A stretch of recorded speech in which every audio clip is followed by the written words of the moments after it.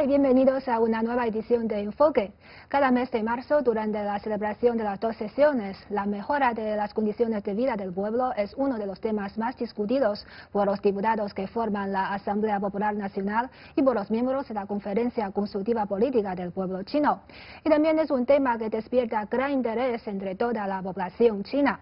¿Cuáles son los logros alcanzados en los últimos cinco años en este sentido y cuáles son las metas fijadas por el gobierno para mejorar aún más las condiciones de vida del pueblo chino? Para hablar de estos temas, hoy tenemos el honor de contar con la presencia de dos invitados en nuestro estudio. Han Han, doctora de la Academia China de Ciencias Sociales, bienvenida. Mucho gusto. Y también nos acompaña el señor César Santos, periodista colombiano. Bienvenido. Muchas gracias, Sánchez. Conozcamos los esfuerzos que ha hecho el gobierno chino en los últimos cinco años para mejorar las condiciones de vida de la población. Veamos. En los últimos cinco años, China ha estado constantemente trabajando en la mejora de las condiciones de vida de su pueblo. La red de vías del tren de alta velocidad ha superado los 25.000 kilómetros, cubriendo un 65% del total mundial. Los kilómetros de carretera aumentaron de 96.000 a 136.000 kilómetros. Se han construido 46 aeropuertos nuevos en todo el país y 122 grandes proyectos hidráulicos están en construcción. Por otro lado, se han realizado una serie de medidas con resultados positivos en la erradicación de la pobreza. China invirtió 44.200 millones de dólares en este sector, lo que permitió que 68 millones de personas salieran de la pobreza. El gasto del país en educación representa más del 4% del PIB y la mejora de la nutrición ha beneficiado a más de 36 millones de estudiantes en las zonas rurales. Al mismo tiempo, se crearon más de 66 millones de nuevos empleos en las ciudades. Un total de 1.350 millones de personas tienen acceso a cobertura médica básica. En los últimos cinco años, la economía china ha experimentado una serie de cambios estructurales importantes. La tasa de contribución del consumo aumentó del 54,9% al 58,8% y la industria de servicios se ha convertido en la principal fuerza impulsora del crecimiento económico. Mientras tanto, el medio ambiente del país ha visto una mejora gradual. La concentración de PM2,5 en áreas clave se redujo en más del 30% y el consumo de energía y el consumo de agua por unidad de PIB cayeron en más del 20% en promedio. Bueno, entre todos esos temas relacionados con la mejora de las condiciones de vida del pueblo, ¿cuáles les llama más la atención, César? Bueno, Sancha, eh, son muchos los temas, ¿no? Eh, tenemos que ser conscientes que ya eh, las decisiones que se toman en las sesiones, algunas de ellas tienen alcance o por lo menos interés mundial. Entonces, desde otros países le prestan atención a los grandes temas, a la meta de crecimiento económico, a la cuestión macroeconómica de cómo va a afectar las relaciones eh, económicas entre los dos países, eh, también eh, la cuestión empresarial.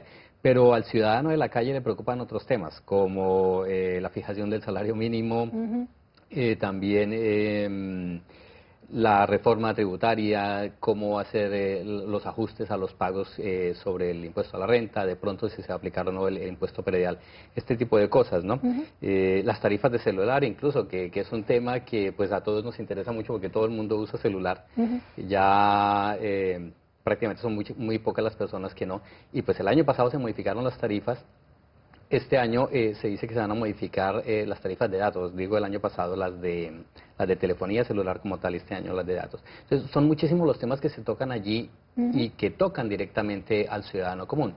Pero el tema que conozco que mucha gente le, afecta y que a mí me, preocupa mm, inmediatamente es el tema de la educación, eh, porque pues la mayoría de las familias chinas tienen, tienen niños y ya en edad escolar y hay que ver si, si se está garantizando plenamente o no este tema. Mm, yo me puedo poner como ejemplo porque mi esposa es china y, mis hijas son chinas y ya llevo mucho tiempo acá y en determinado momento teníamos ciertas dificultades para que las niñas accedieran a la educación. Mm. Sin embargo, eh, afortunadamente, gracias a esas reformas que se han ido haciendo poco a poco y muy oportunamente, eh, hemos logrado garantizar el cupo de las dos. Y otro pequeño aspecto allí dentro de la educación es el de la regulación que se va a hacer a las clases extracurriculares, que también la, presión sobre los niños chinos es altísima, tienen muchas tareas, tienen mucho, cuando no están en la clase en la escuela, están en clase por fuera de inglés, de chino, de matemáticas, lo que sea,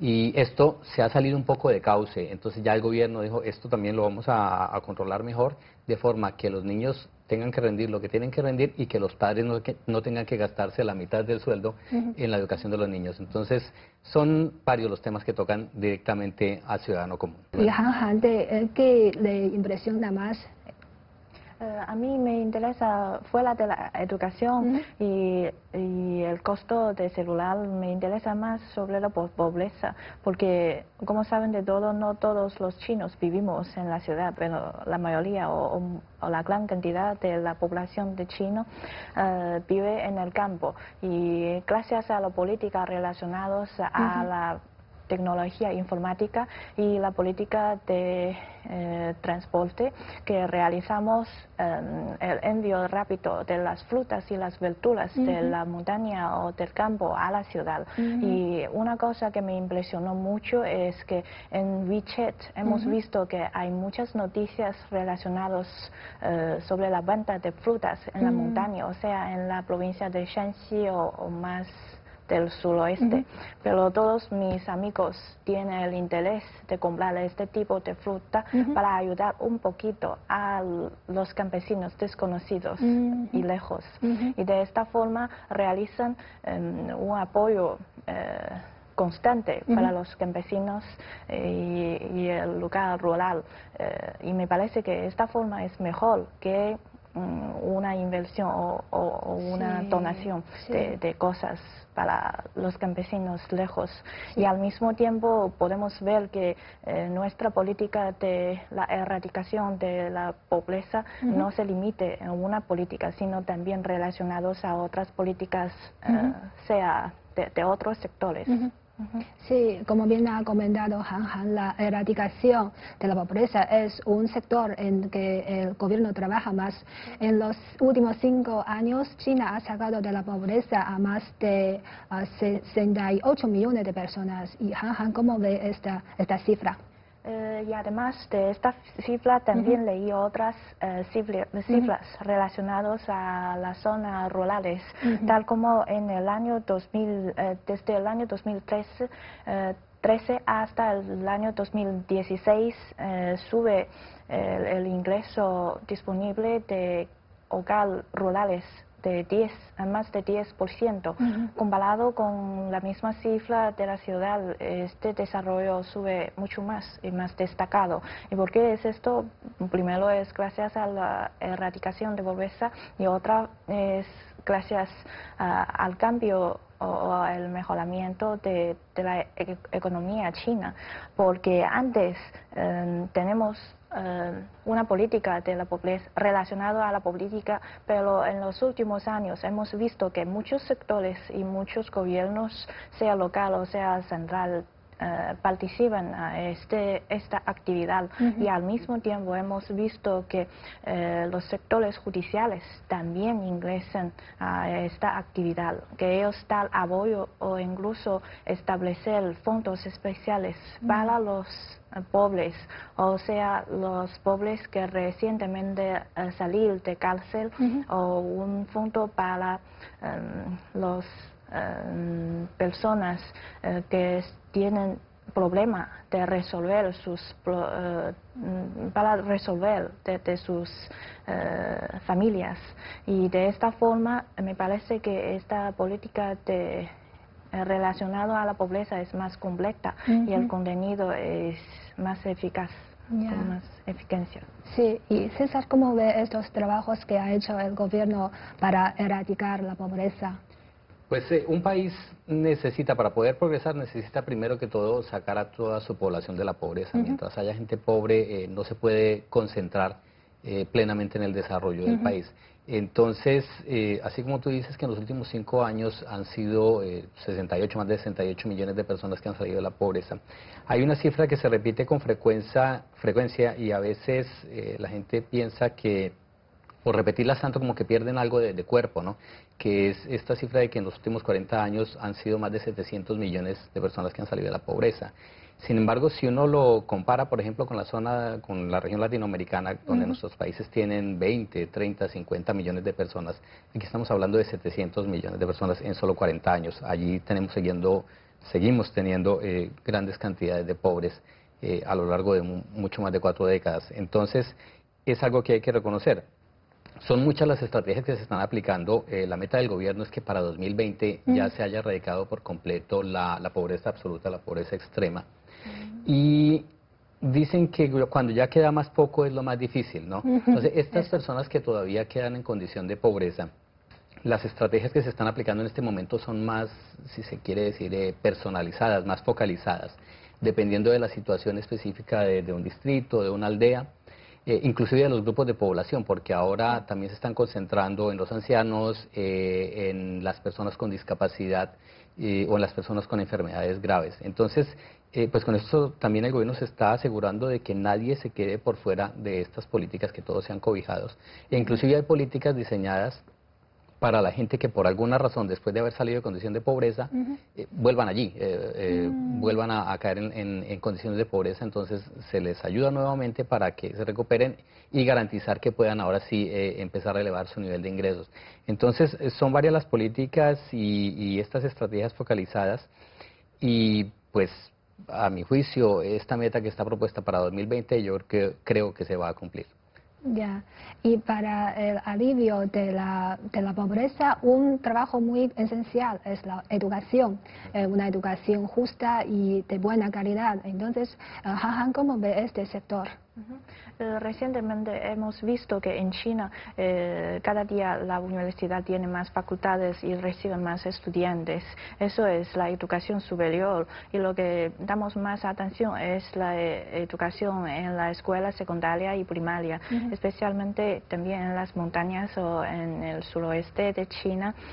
podemos ver que hay muchos, muchas escuelas que ya establece contactos o relación con una compañía de la ciudad, o, sea, de Beijing o de Shanghai o de otras ciudades más importantes y también hay... Em, hay ayudamientos o voluntarios que constantemente mm, van a sus escuelas eh, a dar un semestre de clase o dar varios años de clase. Y es, todo esto son una política constante. Y hemos visto que mm, gracias a la ayuda de estos voluntarios eh, hay más estudiantes em, pobres que pueden ingresar en la Universidad de Beijing o otras mm. universidades más destacadas en, en, China.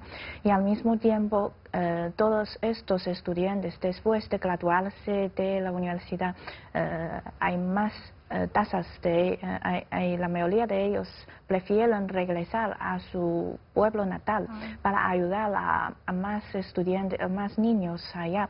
Y o sea, ellos se quedan en la ciudad, ellos prefieren ah, servir en algunas eh, compañías o em, gobiernos para ayudar a la pobreza o a la enseñanza. Efectivamente, uno de los problemas que debemos resolver en esta nueva era es el desequilibrio del desarrollo. Entonces, no solamente necesitamos una justicia, una igualdad en, la educación, sino también en los servicios médicos o seguridad social. Entonces, ¿cómo debemos ah, perfeccionar nuestro sistema de seguridad social?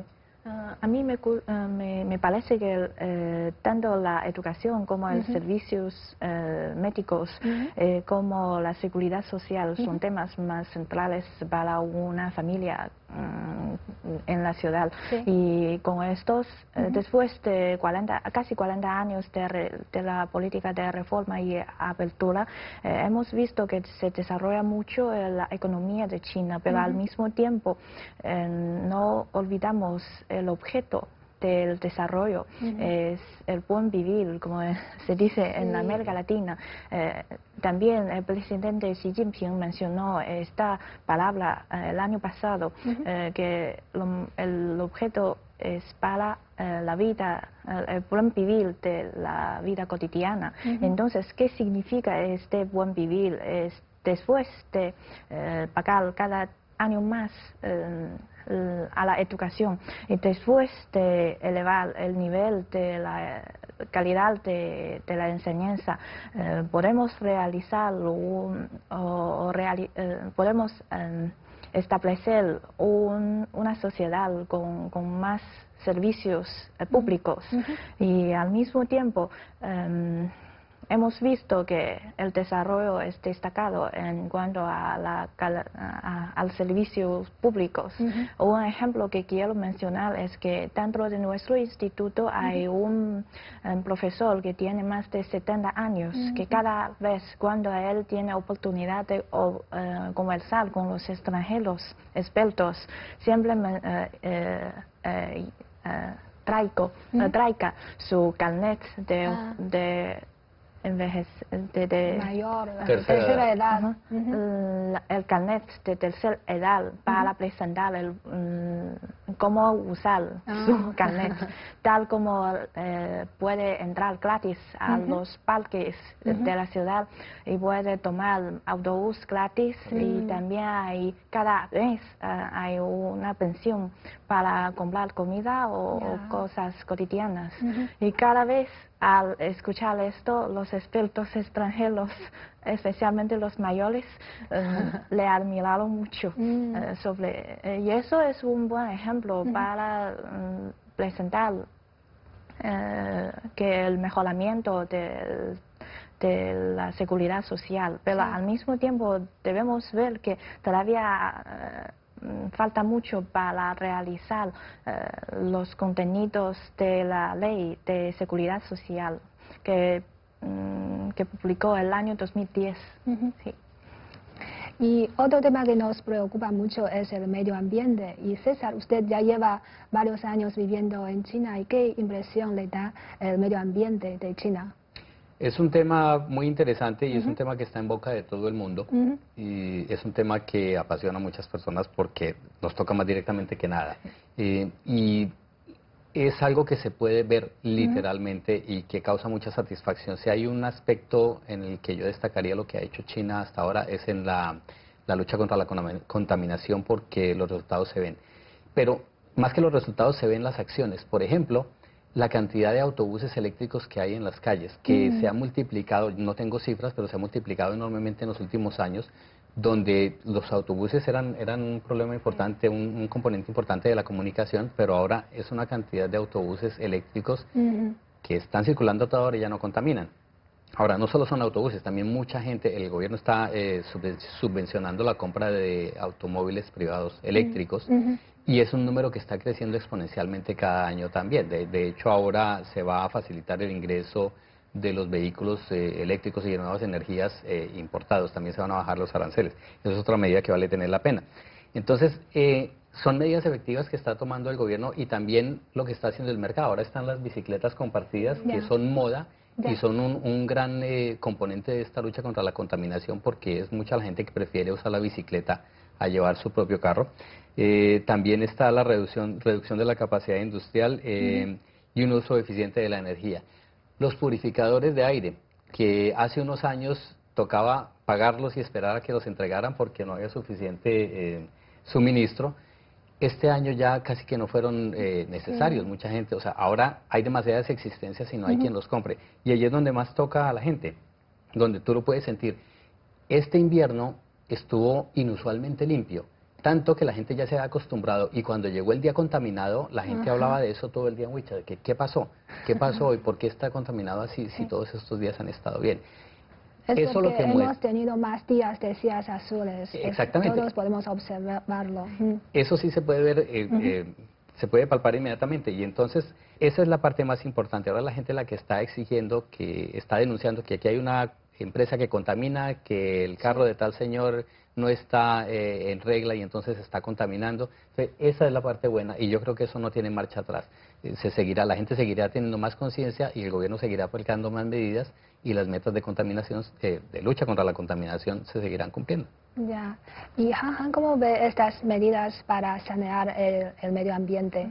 Como vivo también en Beijing, el color del cielo puede decir de todo y casi no hace falta de calcular eh, la tasa de, la contaminación. Podemos eh, ver el color se cambia casi totalmente y ahora casi en todo el invierno no hace falta de llevar ningún máscara.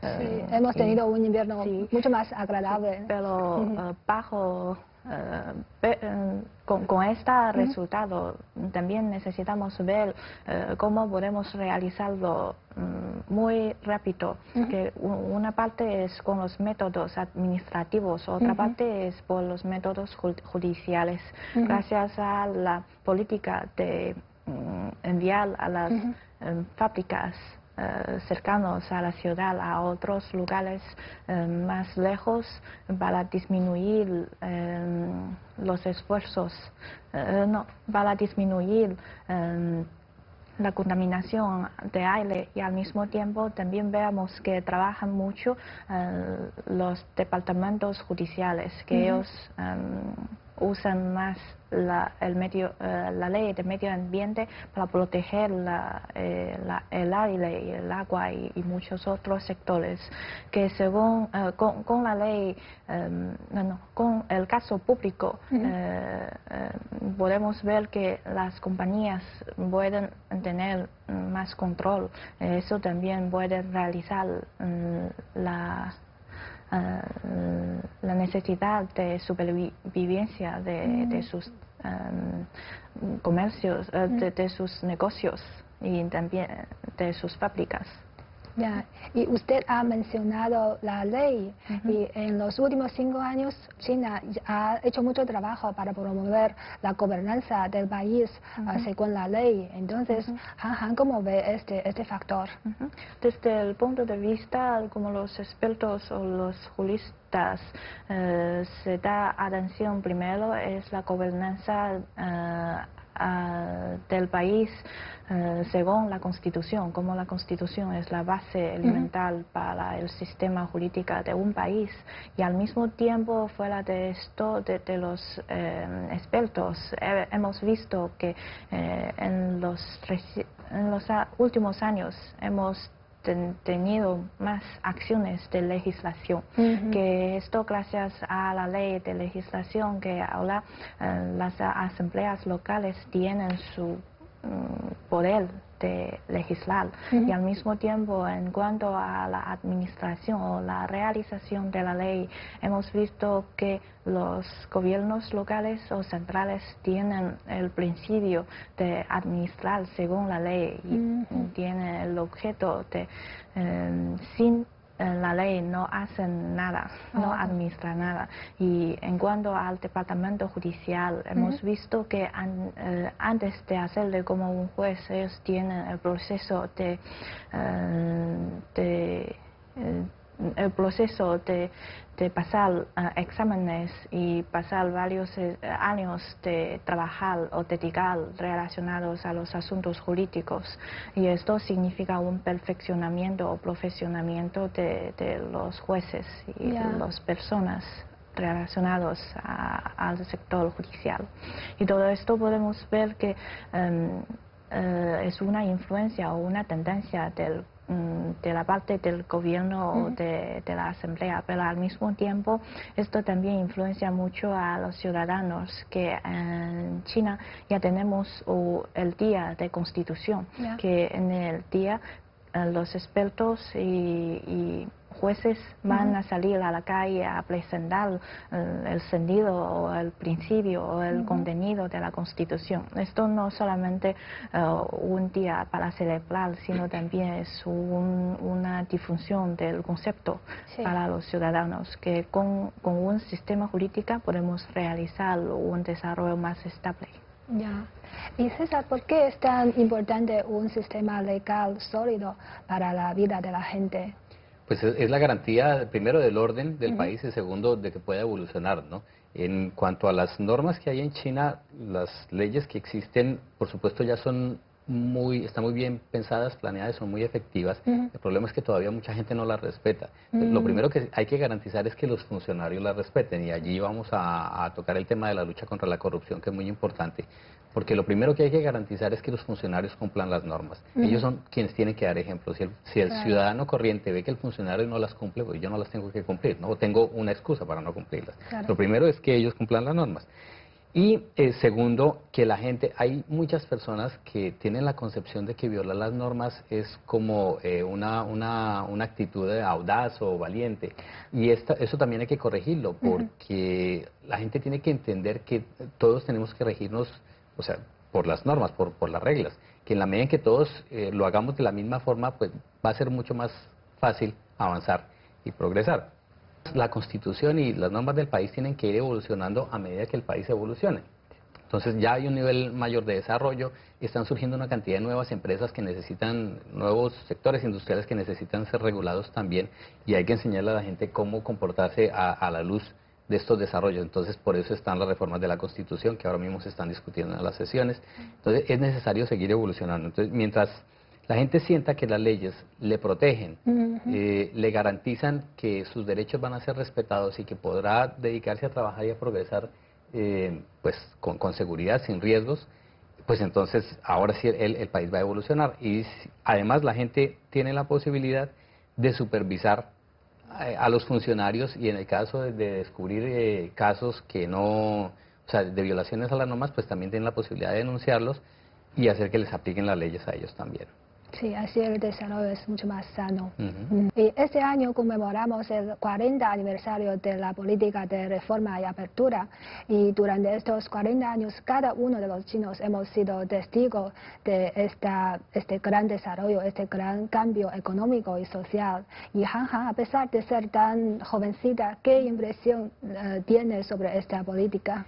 Pues para mí también em, influencia, eh, yo también tiene una impresión muy destacada de mi niño, porque antes eh, no tenemos WeChat, no podemos comunicar directamente con amigos eh, del otro lado del Pacífico, pero tenemos el límite como el límite del transporte, pero ahora se cambia totalmente. Lo más impresionante es la forma de pago, que no hace falta de llevar mi, ningún moneda. Con el teléfono móvil yo puedo acceder a una bicicleta con eh, compartida, y eh, puedo pagar en supermercado, en restaurante, en cualquier lugar. Incluso yo puedo entrar en un supermercado sin, person sin persona. Eh, todo esto es un, gracias a la tecnología, pero la base es el desarrollo económico de nuestro país. Y esto es gracias a esta política. Y lo que quiero decir que el desarrollo de la economía de China no se favorece a los ciudadanos chinos, sino también eh, tiene una influencia a la economía mundial, eh, que según una cifra que en el año 2010, 16, eh, el desarrollo de la economía china da un comportamiento casi 0.08% de la economía mundial. Mm, sí, y en esta nueva era el objetivo, el nuevo objetivo de esta política es mejor mejorar el nivel de la reforma y apertura. Entonces, ¿cómo ve esta, esta nuevo, este nuevo objetivo y qué expectativas tiene sobre esta política? Me parece que inicialmente esta política es para el desarrollo de la economía, pero ahora eh, podemos decir que entramos en otra etapa, que es la etapa para ah, compartir. Eso necesita una política de distribución más eh, con más igualdad y con más equilibrio y por eso todavía hace falta mm, de mejorar o de realizar otra vez nuestras políticas. ¿Y César? Pues en materia de reforma y apertura, eh, en materia de reforma quiero decir, eh, lo primero que me parece más importante es persistir en, esta decisión de cambiar el modelo de desarrollo económico, de hacer la reestructuración económica, eh, que es fundamental para que el país siga progresando. ¿no? Ya han mencionado algunos de los, de los no lujos, pero de los placeres que disfruta la ciudadanía china gracias a estos 40 años de, reforma y apertura. ¿no? En cuanto a apertura, pues eh, es eh, imposible no mencionar la iniciativa de la Franja y la Ruta que tiene encantados a todos los países que están vinculados directamente con esta, pero y que ya está dando frutos, por cierto, pero que también llama mucho el interés de otras regiones del mundo que no